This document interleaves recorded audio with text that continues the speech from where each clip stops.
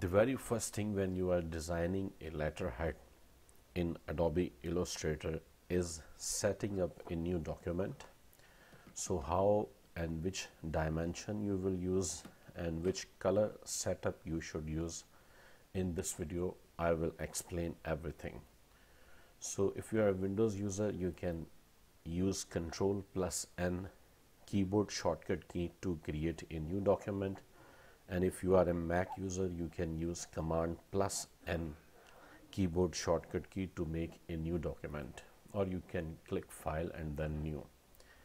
Now for a letterhead we can use A4 size which we can find in the print section like here and A4 here you can mention like uh, my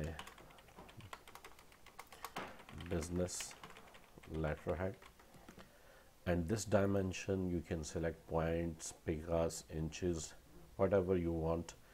If you are going to use this letterhead for web purpose like in social media in social networking or any other place you will use then you should select pixels.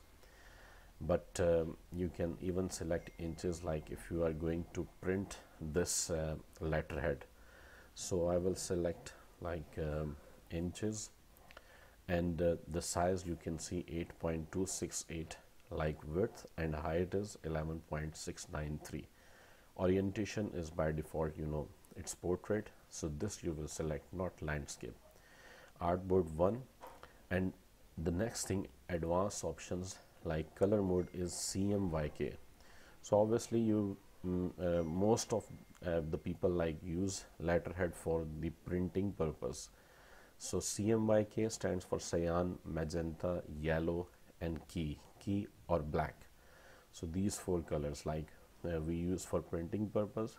So you can select CMYK if you will use for the web purpose web then you will select RGB and the raster effects you can select 72 or even 300 you can select so just click create.